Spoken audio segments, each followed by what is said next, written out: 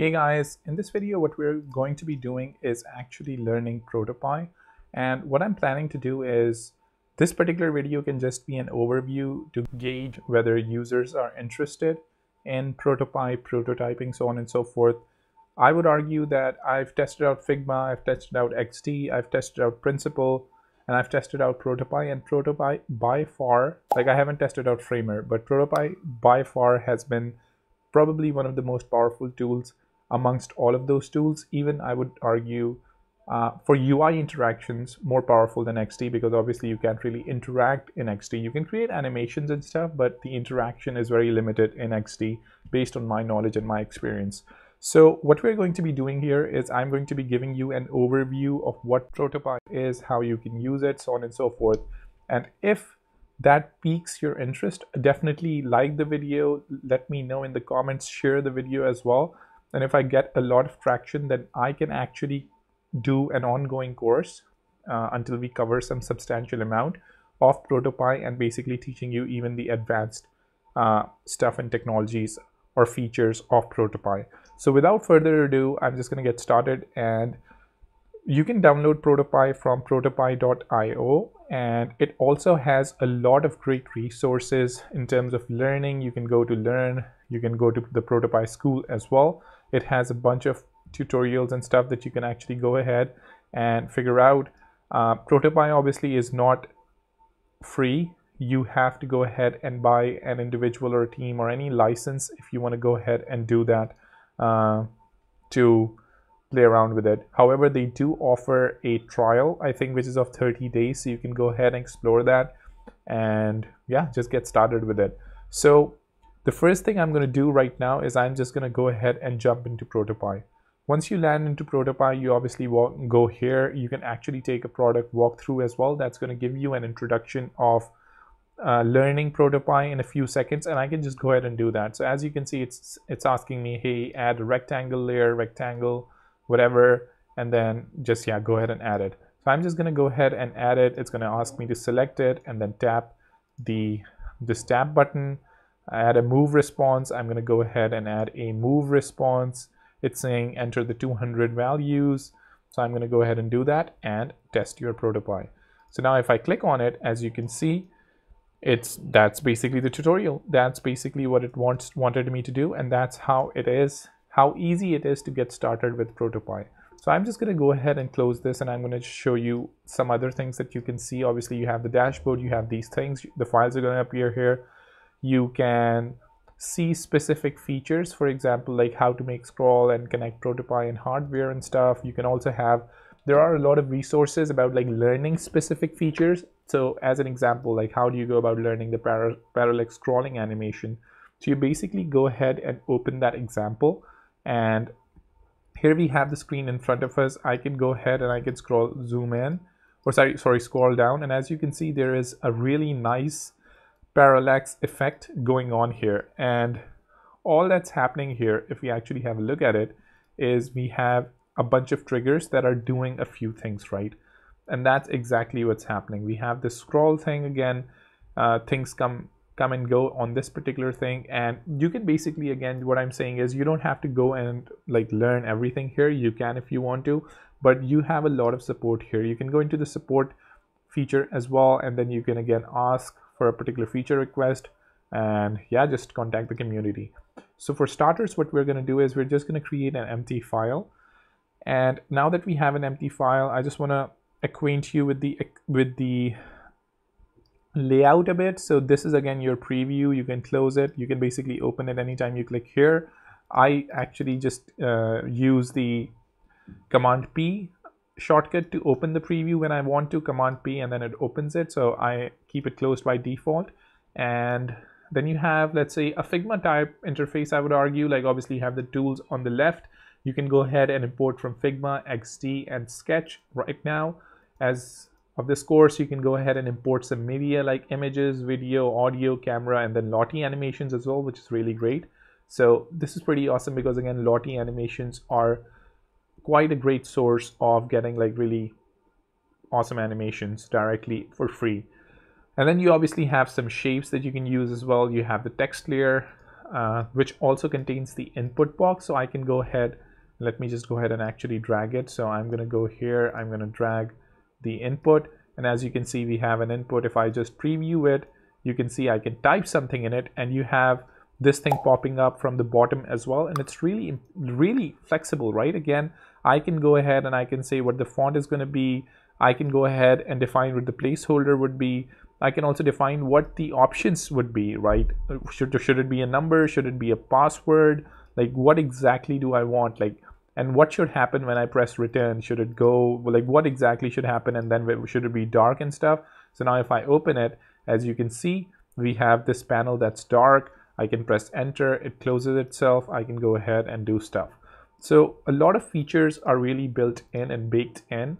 We also have these containers. Again, you can just create a container if you want to let's say contain things obviously you can also have a scrolling container basically and then if I create the scrolling container I can have multiple items within it so I'm just going to go ahead and add these items and now if I preview it as you can see we can scroll quite easily so that's yeah really easy stuff similarly with the paging container we can have something like that as well. So I'm just going to go ahead and drag it. So imagine this particular thing. I'm just going to go ahead create a rectangle. Imagine this is a page then this is a page and I'm just going to go ahead and drag these things command P. And then as you can see it's really easy for me to go ahead and swipe these pages. And the interaction is extremely smooth as well. And this is I think what Protopie really prices itself on not really just this but again the ease of which I can get started with things and the amount of things that exist directly within Protopie. I've also created a video detailing a comparison between the export or sorry the import features from Figma to Protopie and then Figma uh, to Principle and I mean the comparison isn't really made. Like Protopie is so far ahead. A few other things I'd like to highlight obviously you can preview you can go ahead and run things you can view the device view this particular thing on a device you can change the size if you want to change the size you can go directly to the top and you can say hey I want to view it on Android or I just want the desktop screen and I can go ahead and change it to a desktop screen and I can create my animations here. Similarly, I can go and I can upload it to the cloud.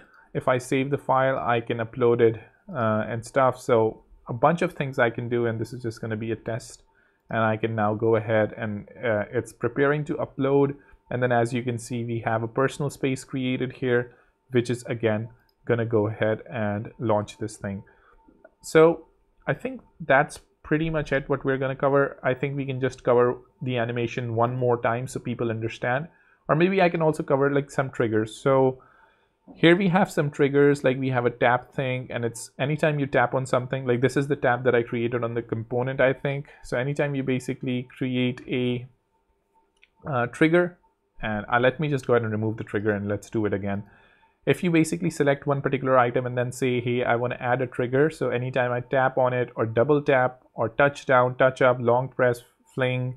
So there are a lot of interactions here just really awesome interactions that you can do 3d touch and just you have a lot of things even voice command man. I mean it's pretty insane. Let's just go ahead and do double tap because we didn't cover it. So I'm gonna say when I double tap this thing it should scale. And how much should it scale by? Like I'm gonna go ahead and say it should scale by let's say 400% or something.